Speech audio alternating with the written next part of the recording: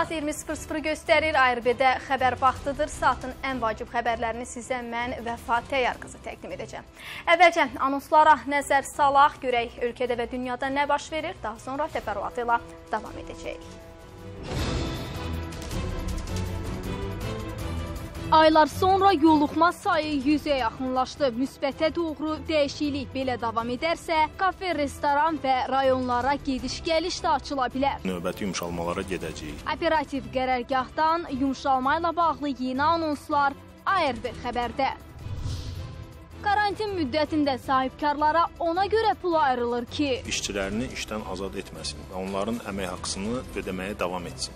Qeyri-legal işlədiyi üçün maaşdan kənar qalan işçilər Onlar da təbii ki, bu günləri heç bir qeydiyyatda yoxdular. vergi ödədiyi üçün dövlətdən aldığı kompensasiyanı tək başına mənimsəyən sahibkar. Fəaliyyətlərin məhdudlaşdırılması çoxsuz fəaliyyət göstərən şəxslərin hamısını gəlirdən məhrum edir. Pandemiya dövründə rəsmi iş yerlərinin əhəmiyyətini araşdırmışıq. Bakının Şanxayı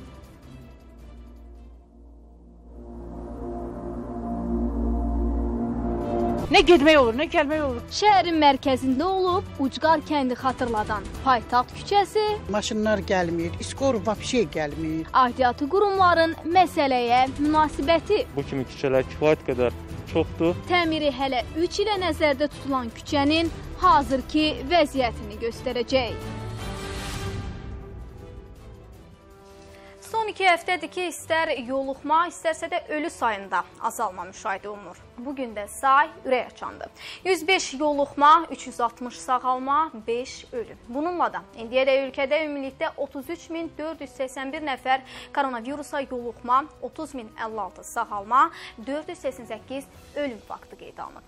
Aktiv xəstə sayı 2937 nəfərdir. Son sutqa ərzində yeni yoluxma hallarının müəyyənləşdirilməsi ilə əlaqədar 6457, ötən müddət ərzində isə ümumilikdə 779508 test aparılıb. Nazirlər Kabineti yanında operativ qərargahın verdiyi məlumata görə artıq birinci gündən karantinlə bağlı tətbiq edilən bir neçə qadağa aradan qaldırılacaq. Bugün həmin yumşaldılmalarla bağlı qərargahın mətbuat konfransı keçirilib. Cəmiyyətin maraqlandıran bir sıra suallara da aydınlıq gətirilib. İzləyək. Gələn həftədən başlayaraq qeyri-ərzaq malları satan dükanlar, məişət xidmətləri göstərən mağazaların fəaliyyəti yenidən bərp edilir. Bir neçə gündür ki, yoluxma sayında müşahidə edilən müsbətə doğru dəyişiklik bu yumşaldılmaya imkan verdi. Vəziyyət belə davam edərsə, qarşıdakı həftələrdə də bir sıra sahələrdə tətbiq edilən qadağa aradan qaldırıla bilər.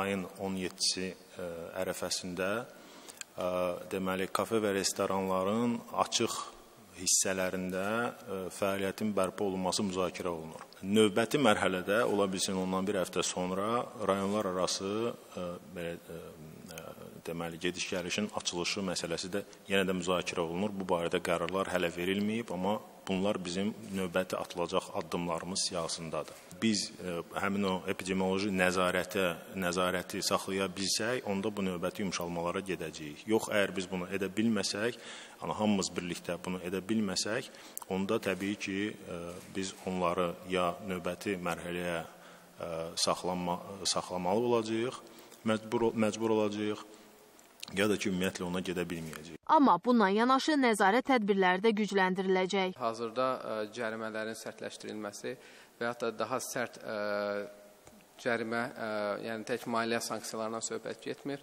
Ə, digər ə, vasitələrlə də cəzalandırma metodları ilə, mexanizmləri ilə bağlı olaraq müzakirələr aparılır.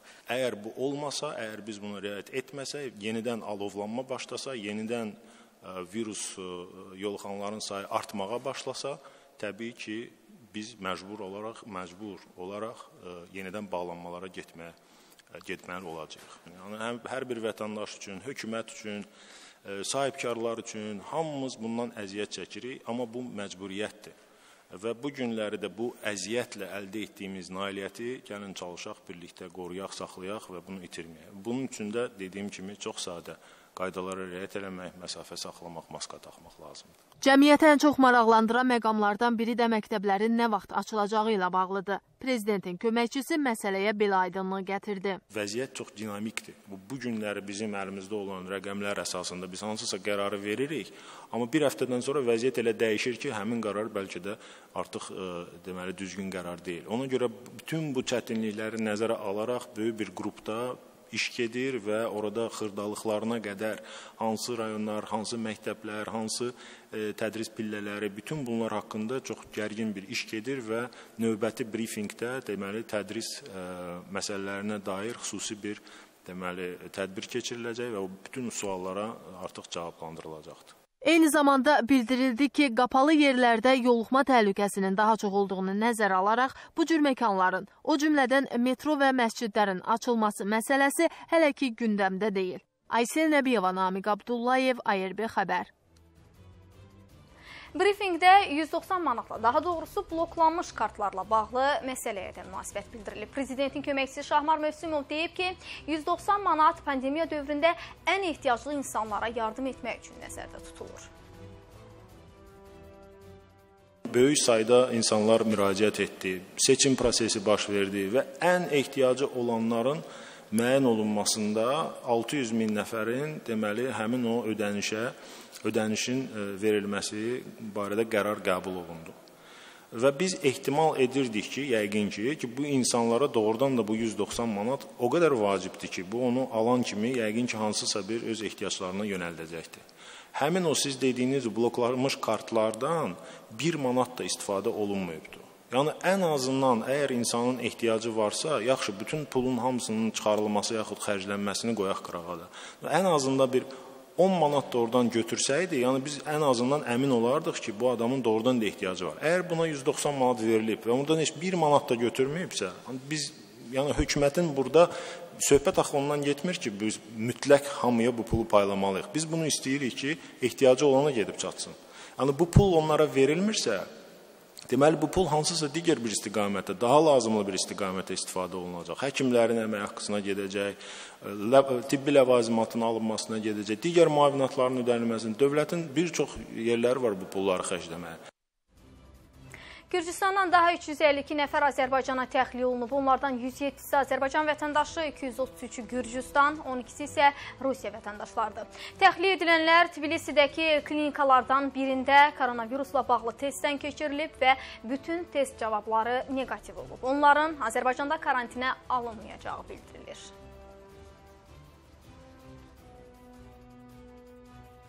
Ötən gün Hindistanın Kerala ştatında Dubaydan geri qaydarkən qəzaya uğrayan Boeing 737 təyyarəsinin qara qutusu tapılıb. Qutu qeydlərin araşdırılması üçün Dehliyə göndəriləcək. Bunu ölkənin mülki aviasiya naziri Hardip Singh Puri deyib. Bildirib ki, nazirliyin nəzdində qəza təhqiqat bürosu hadisə ilə əlaqədar təhqiqat aparacaq. Qeyd edək ki, təyyarənin göyərtəsində ikisi pilot olmaqla 6 nəfər işçi heyəti, onu uşaq olmaqla 184 sərnişin sərnişin olub. Onlardan 20-si ölüb, 140-ı yaralıdır.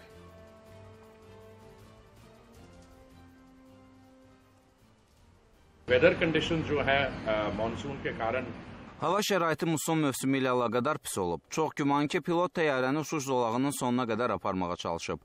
Ancaq yol sürüşkən olduğundan bədbəxt hadisə baş verib.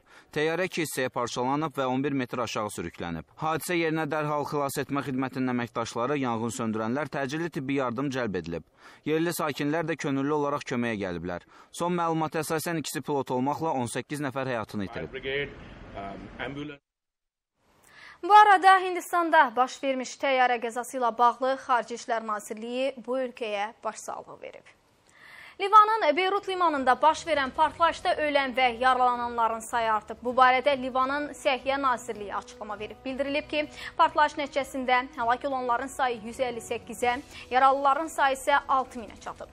İndiyə qədər şəxsiyyəti müəyyənləşdirilənlər arasında müxtəlif millətlərin nümayəndələri var. Suriyanın Livandakı səfirliyi partlayış nəticəsində 43 Suriyalının həlak olduğunu bildirib. Həmçinin 6 Bangladeş vətəndaşı, 3 Filippinli, 1 Pakistanlı, 2 Misirli və 13 erməni partlayışda həlak olub. Almaniyanın Livandakı səfirliyinin əməkdaşı və Niderlandın Livandakı səfirinin xanımı da partlayışda həyatını itirib. Xatırladaq ki, hadisə avqustun 4-ündə baş verib.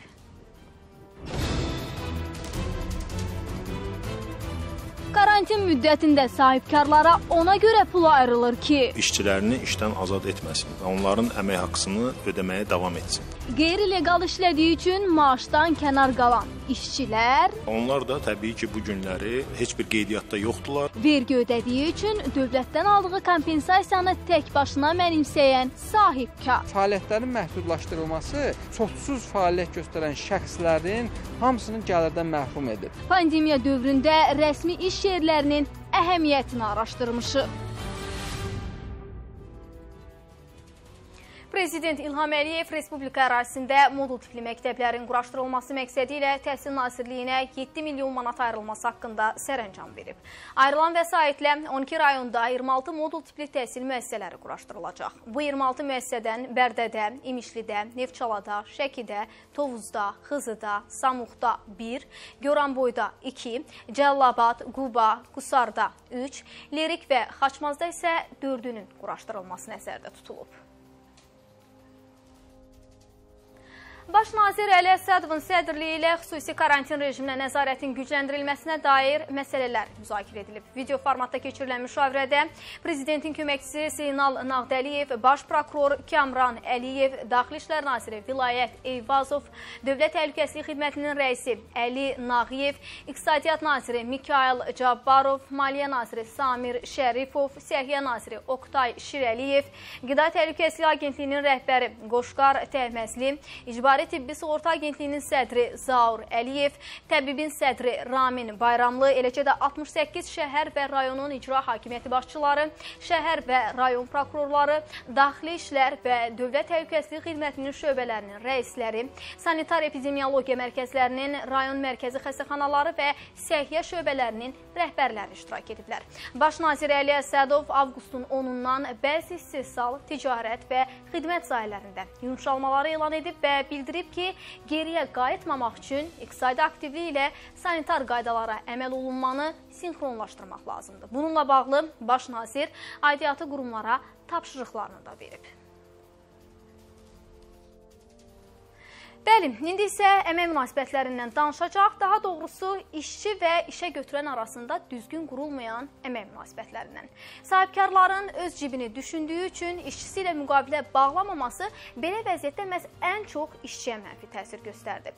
Sözümüzün canı var, sujeti izləyək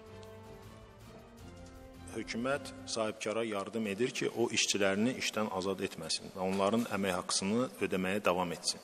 Və əgər orada hansısa bir şadlıq sarayı, hansısa bir ə, deməli müəssisədə ə, işçilər əmək haqqı almırlarsa, deməli onlar heç vaxt rəsmi olaraq heç işə də götürülməmişdilər. Yəni bunlar ə, qeyri-rəsmi iş qüvvəsi idi və onlar da təbii ki, bu günləri heç bir qeydiyyatda yoxdular və ona görə də həmin insanlar həmin o belə deyək də digər dövlətin dəstəyinə, yardımına müraciət edə bilirdilər. Bu fikirləri prezidentin köməkçisi Şahmar Mövsümov operativ qərargahın bugün keçirilən brifinqində səsləndirdi. Eyni zamanda bildirdi ki, vətəndaş işə rəsmi götürülübsə, onu bu cür fövqəladə hallar zamanı heç kim işdən çıxara bilməz. Ekspertlərin sözlərinə görə sahibkar adətən xərclərinin minimuma endirilməsi üçün işçiləri ilə rəsmi müqavilə bağlamaqdan yayınır. Bu, hazırda qeyri-legal çalışanların çox olmasının bir səbəbidir. Digər səbəb isə aidiyyatı qurumlarının buna göz yummasıdır. Kiçik sahibkarlıq subyektlərində bu cür halların olmasına, yəni e, ciddi surətdə e, vergi riskinin olmadığı və vergidən yayılma riskinin aşağı ol, e, olması və əhəm, məsələnin e, əhəmiyyətli olmaması, büdcə üçün, dövlət üçün əhəmiyyətli olması, həm də bir sosial aspektin fikirləşərək e, burada güzəştlər edir, e, da, daha da bu necə deyim, vergi toplanma cəhdlərini sona qədər həyata keçirmir. Bəzi müəssisələrin yoluxma dinamikasından asılı olaraq açılıb bağlanması da hazırki vəziyyətdə sahibkarları əmək müqaviləsi müqaviləsi bağlamaqdan çəkindirir. Sahibkar zamanında dövlətə vergi ödədiyi üçün indi kompensasiya alır. Lakin işçisi əmək müqaviləsi olmadığı üçün ödənilən vəsaitdən kənarda qalır. Digər dəstək tədbirləri üçün qoyulan tələblərə uyğun gəlməyən, hazırda pandemiya səbəbindən işini itirən şəxslər belə vəziyyətdə çətinliklə üzləşirlər. Müxtəlif əmlakı varmı, ə, maşını varmı, bu tip meyarlar ə, olmalı deyil. Yəni ə, şəxs əmək haqqı alıbsa, almayıbsa meyarı öndə olmalıdır. Çünki indiki məqamda e, fəaliyyətlərin məhdudlaşdırılması e, çoxsuz fəaliyyət göstərən şəxslərin hamısını gəlirdən məhrum edir. Yəni bu birmənalı belədir. Bu məqamda e, dövlətin e, vətəndaşı ilə prinsipi aparması və yaxud da e, indiki məqamda şəffaflığı ön plana çəkməsi bir qədər iqtisadi və sosial problemləri gərginləşdirə bilər. Bir sözlə, sahibkar vergidən yayınmaq üçün işçisi ilə rəsmi müqavilə bağlamır, işə götürülən də hüququnu bilmədiyi üçün və ya işə ehtiyacı olduğu üçün bunu tələb etmir. Amma görünən odur ki, pandemiya hər sahədə olduğu kimi bu sahədə də bir çox vacib məqamları üzə çıxardı və post-pandemiya dönəmində artıq bu məsələyə daha çox diqqət yetiriləcək. İlahə Məmmədova, Həmid Əhmədli, Səbinə Qurban, ARB xəbər.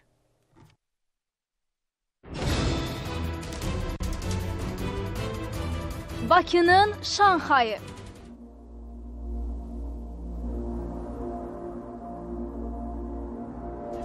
Nə getmək olur, nə gəlmək olur. Şəhərin mərkəzində olub Ucqar kəndi xatırladan Paytaxt küçəsi, Maşınlar gəlmir, skor vapşe gəlmir. aidiyyatı qurumların məsələyə münasibəti, Bu kimi küçələr kifayət qədər çoxdur. təmiri hələ 3 ilə nəzərdə tutulan küçənin hazırki vəziyyətini göstərəcək. Ölkənin kriminogen durumu ilə bağlı xəbərlərlə davam edirik. Bugün saytlarda 4 aylıq hamilə qadın, Sumqayıt şəhər sakini 33 yaşlı Şəhanə Əhmədovanın dənizdə boğularaq ölməsi ilə bağlı məlumat yayıldı. Daha sonra məlum oldu ki, həmin qadın dənizdə boğularaq ölməyib. Sumqayıt şəhər prokurorluğunun əməkdaşlarının apardığı araşdırmalarla onun 34 yaşlı əri Anar Əhmədov tərəfindən öldürüldüyü məlum olub. Bildirilib ki, Anar dənizə birlikdə girdiyi hamilə arvadı Şəhanə Əhmədovanı aralarında yaranmış mübahisə nəticəsində boğaraq qəsdən öldürüb. Əhmədov şübhəli şəxs qismində tutularaq istintaqa cəlb edilib, hazırda iş üzrə zəruri istintaq tədbirləri həyata keçirilir. Tovuzda da qadın əri tərəfindən bıçaqlanıb. Hadisə rayonun aşağı Quşçu kəndində qeydə alınıb. 30 yaşlı Rəqsanə Məmmədova bıçaqlanma diaqnozu ilə xəstəxanaya yerləşdirilib. Dərhal qadın əməliyyata götürülüb. Hadisəni törətməkdə təqsirli bilinən 34 yaşlı Malik Məmmədəliyev isə saxlanılıb. Faktla bağlı araşdırma aparılır. 90 minlik dələduzluqda şübhəli bilinən qadın saxlanılıb. Hadisə İmişlidə baş verib. Polis əməkdaşlarının keçirdiyi istintaq və əməliyyat axtarış tədbirləri nəticəsində vətəndaşların etibarından sui-istifadə edərək onlara qarşı dələduzluq etməkdə şübhəli bilinən rayon sakini Sevda Quliyeva saxlanılaraq şöbəyə aparılıb. Məlum olub ki, o müxtəlif bəhanələrlə rayonda yaşayan ayrı-ayrı vətəndaşlardan 90 min manatdan artıq məbləğdə pul mənimsəyib. Sevda Quliyevanın analoji cinayətlər törətdiyi də istisna edilmir. Bakının mərkəzi hissələrinin birində, Bayıl qəsəbəsində bir küçənin sakinləri sözün əsl mənasında yolsuzluqdan əziyyət çəkir. Sakinlər deyirlər ki, bu küçədə qışda yağış sularından yaranan gölməçələrdən, palçıqdan, yayda isə tozdan əziyyət çəkirik. Əməkdaşlarımız da elə sakinlərin şikayəti üzərindən mövcud vəziyyəti öz gözləri ilə görmək üçün əraziyə yollanıblar. Sırada həmin küçədən hazırladığımız reportajımız var. Vəziyyətin həqiqətən nə yerdə olduğunu indi elə siz də görəcəksiniz.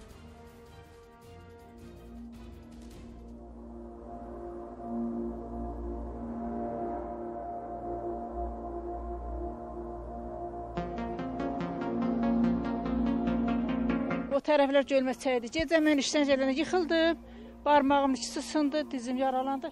Beynim silkələnmişdi. Bir yağış olanda məktəbə gedən uşağın üst başı pal palçıq olur.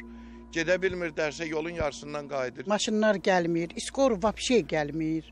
Xəstəsi olur, qocası olur, uşağı olur. Nə getmək olur, nə gəlmək olur. Qışda belə yıxıla-yıxıla, sürüşə-sürüşə gedirik. Bir dənə taksi bu məhəlləyə gətirə bilmirik. Yüklə podiumu qalx. Ünvan Bayıl qəsəbəsi Buxta küçəsi.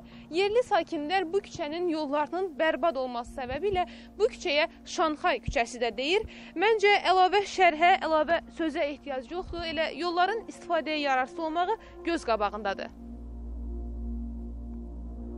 Küçəyə çatanda özümüzü şəhərin mərkəzi hissələrindən birində deyil, hansısa ucqar dağ kəndində hiss etdik. Bir tərəfdən dar, digər tərəfdən yarı uçmuş, yarı kələkötür olan bu küçə sakinlərin sözlərinə görə uzun müddətdir ki, belə vəziyyətdədir. Hər gün buradan avtomobillə keçmək məcburiyyətində qalanların isə dərdi də, xərci də daha böyükdür. Ayda demək olar ki, bir 100 manat, 150 manat olur, peridokumuz dağılır bütün. Rezinlər cırılır, balans düşür, razvala düşür. Ona görə də yəni hər şey xərcdir. Karaboylardır, amortizatorlardır, hamısı dağılır. Sakinlərin sözlərinə görə mövcud vəziyyətlə bağlı dəfələrlə Səbail rayon icra hakimiyyətinə müraciət etsələr də dərdlərinə hələ də bir əlac tapılmayıb. Biz də adı çəkilən quruma yollandıq. Bildirdilər ki, Buxta küçəsi də daxil olmaqla Səbail rayonunda təmirə ehtiyacı olan bütün küçələrin siyahısı Avtomobil Yolları Dövlət Agentliyinə təqdim olunub. Həmin qurumdansa biz tədbirlər planı hazırlamışıq və həmin tədbirlər planına uyğun olaraq da 2023-cü il daxil olmaqla bütün qəsəbə daxili küçə və yollar təmir olunaraq vətəndaşların istifadəsinə veriləcək. O cümlədən də Səbail rayonu ərazisində də e, bu kimi küçələr kifayət qədər çoxdur növbəti mərhələlərdə həm dövlət proqramlarına uyğun olaraq, həm də ə, ölkə başçının sərəncamına uyğun olaraq bu istiqamətdə işlərimiz davam etdiriləcək. Bəli, elə qurum rəsmisinin də dediyi kimi, Bakıda yol problemi ilə üzləşən təkcə Buxta küçəsinin sakinləri deyil. Hazırda paytaxt ərazisində 2300 kilometrə yaxın qəsəbədaxili yolların təmirə ehtiyacı olduğu və 3 il ərzində bərpa olunacağı deyilir. Bu yerdə isə Buxta küçəsinin, eləcə də yolunun təmirə ehtiyacı olan digər küçələrinin sakinlərinə sadəcə səbir diləməkdən başqa əlacımız qalmır. İlahə Məmmədova, Röyal Muğanoğlu, ARB xəbər. Bəli, ümid edirik ki, tezliklə bu məsələ öz həllini tapacaq. Mən sizinlə bu günlük sağollaşıram. Bu saata çatdıracaqlarımız bu qədər idi. Özünüzə yaxşı baxın. Hələlik.